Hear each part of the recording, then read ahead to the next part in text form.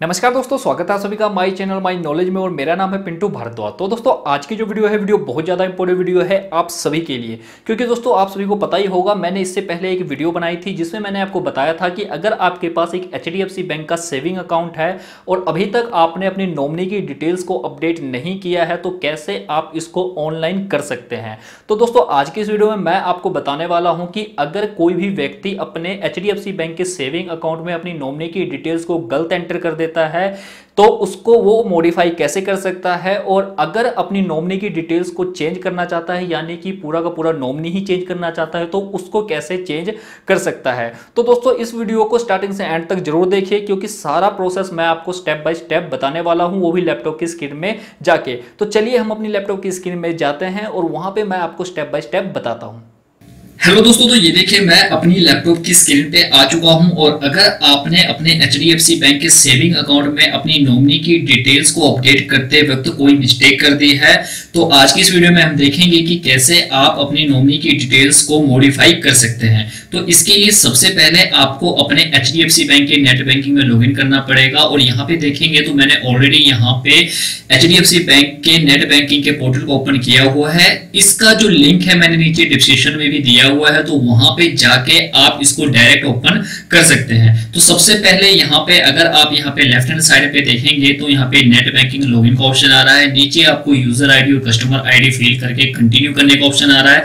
जैसे आप इसको कंटिन्यू करेंगे तो आगे आपको आपका पासवर्ड मांगा जाएगा। वहाँ पे पासवर्ड डालने के बाद जैसे आप लॉग करेंगे तो आप अपने HDFC बैंक के इंटरनेट बैंकिंग में लॉग हो जाएँगे। तो चलिए सबसे पहले मैं इसमें लॉग कर लेता हूँ। तो ये देखिए दोस्तों, मैं अपने HDFC बैंक के नेट बैंकिंग में लॉगिन हो चुका हूँ और अगर आप यहाँ पे लेफ़्ट हैंड साइड पे देखेंगे तो आपको यहाँ पे कुछ ऑप्शंस मिलेंगे। इस ऑप्शंस में से आपको यहाँ पे एंड में एक ऑप्शन मिलेगा रिक्वेस्ट का। तो इसके ऊपर आपने क्लिक करना है। क्योंकि हम अपनी नॉमिनी की डिटेल्स को चेंज या मॉडिफाई करना चाहते हैं तो इसके लिए इसके ऊपर क्लिक करेंगे आप और यहाँ पे आपको कुछ ऑप्शंस मिलेंगे। इस ऑप्शंस में से आपको अगर आप एक थोड़ा सा स्क्रॉल डाउन करेंगे तो यहाँ पे आपको एक ऑप्शन मिल जाएगा व्यू या अपडेट नॉमिनेशन डिटेल्स का। तो आपने इसके ऊपर क्लिक करना है। तो चलिए मैं इसके ऊपर क्लिक कर देता हूँ।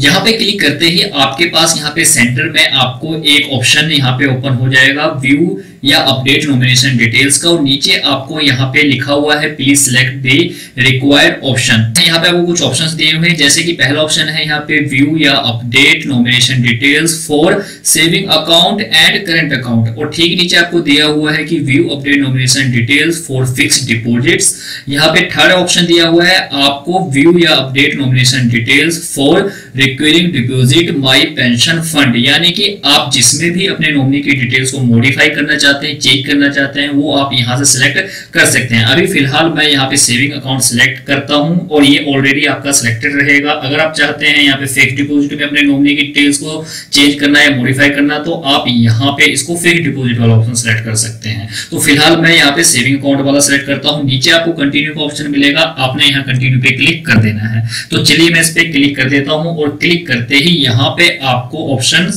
ओपन हो जाएँगे। यहाँ पे लिखा हुआ है please select which accounts nomination details you want to view या अपडेट यहाँ पे आपको नीचे आपका अकाउंट नंबर होगा, आपका नाम होगा और नॉमिनेशन पे यहाँ पे रजिस्टर लिखा होगा और साथ में आपको यहाँ पे एक्शन के नीचे आपको व्यू या मोडिफाई नॉमिनी का ऑप्शन मिल जाएगा। तो आपने क्या करना है, इसके ऊपर क्लिक करना है। तो चलिए मैं इसके ऊपर क्लिक कर देता हूँ। वहाँ पे क्लिक करते ही आपके सामने आपकी नॉमिनी की जो डिटेल्स है, वो यहाँ पे ओपन हो जाएगी। ये देखिए, यहाँ पे पूरी डिटेल्स यहाँ पे ओपन हो चुकी है। अगर आप इसको थोड़ा सा स्क्रॉल डाउन कर लेते हैं तो ये देखिए, ठीक नीचे आपको राइट हैंड साइड पे यहाँ पे मॉडिफाई का ऑप्शन मिल रहा है। तो आप अगर मॉडिफाई करना चाहते हैं तो यहाँ पे मॉडिफाई पे क्लिक करेंगे। तो चलिए मैं इसके ऊपर क्लिक कर देता हूँ। तो ये देखिए दोस्तों, जैसे मैंने इसके ऊपर क्लिक किया तो यहाँ पे जो नॉमिनेशन की जो डिटेल है, वो एडिट मोड पे चली गई है। अब यहाँ पे पूरी तरीके से मैं कोई करेक्शन करना चाहता हूँ, या मैं ये पूरा का पूरा चेंज करना चाहता हूँ तो मैं बड़े ही आसानी से यहाँ पे कर सकता हूँ। तो चलिए मैं थोड़ी सी चेंजेस कर देता हूँ। अगर आप यहाँ पे देखेंगे तो यहाँ पे nominee name date of birth relationship यहाँ पे सिलेक्ट नहीं है तो चलिए मैं यहाँ पे रिलेशनशिप सिलेक्ट कर लेता हूँ। तो इस तरीके से आप कोई भी मॉडिफिकेशन करना चाहते हैं तो आप यहाँ पे कर सकते हैं। उसके बाद बाद यहाँ पे पूरा मॉडिफाई करने के बाद या अगर आप अपनी नॉमिनी की डिटेल्स को पूरी तरीके से चेंज करना चाहते हैं तो आप इन सारी डिटेल्स को डिलीट करके आप नई डिटेल्स यहाँ पे फिल कर सकते हैं और रिलेशनशिप भी यहाँ पे नया फिल कर सकते हैं। तो इस, ये सेम प्रोसेस है अपने नॉमिनी की डिटेल्स को पूरी तरीके से चेंज करना या उसको मॉडिफाई करना। उसके बाद अगर आप इसको स्क्रॉल डाउन करेंगे तो यहाँ पे ठीक नीचे आपको राइट हैंड साइड पे ऑप्शन मिल जाएगा कंटिन्यू का। मॉडिफाई करने के बाद यहाँ कंटिन्यू पे क्लिक करेंगे तो चलिए मैं इसके ऊपर क्लिक कर देता हूँ। तो दोस्तों, वहाँ पे क्लिक करते ही जो भी चेंजेस आपने करी है, वो आपको यहाँ पे शो होने लगेगी। यहाँ पे आप पूरी तरीके से चेक कर ले और चेक करने के बाद इसको थोड़ा सा स्क्रॉल डाउन करें। स्क्रॉल डाउन करने के बाद फिर से आपको यहाँ पे टर्म एंड कंडीशन का आपको एक ऑप्शन मिलेगा कि आप टर्म एंड कंडीशन इसकी जो है एक्सेप्ट कर रहे हैं। तो आपने इसके ऊपर क्लिक करना है और क्लिक करने के बाद ठीक ऊपर आपको यहाँ पे please view the nomination form का ऑप्शन मिलेगा। सबसे पहले आपने इसके ऊपर क्लिक करना है। इसके ऊपर जैसे ही आप क्लिक करेंगे तो आपके सामने एक फॉर्म ओपन हो जाएगा। इस फॉर्म को पूरी तरीके से ओपन होने दे। पूरी तरीके से ओपन होने के बाद आप इसको क्लोज कर दें। क्लोज करने के बाद फिर आपको ठीक नीचे आपको राइट हैंड साइड पे कंफर्म का ऑप्शन मिलेगा तो आपने कंफर्म पे क्लिक कर देना है। तो चलिए मैं इसके ऊपर क्लिक कर देता हूँ। तो ये देखिए दोस्तों, वहाँ पे जैसे ही मैंने कंफर्म पे क्लिक किया तो यहाँ पे मुझे एक मैसेज आ गया है thank you for banking with us the nomination details are updated in our system यानी कि जो भी डिटेल आपने अभी डाली है, जो भी मॉडिफाई किया है, वो इनके सिस्टम में अपडेट हो चुका है। तो इस तरीके से आप बड़े ही आसानी से अपनी नॉमिनी की डिटेल्स को मॉडिफाई कर सकते हैं और चेंज कर सकते हैं।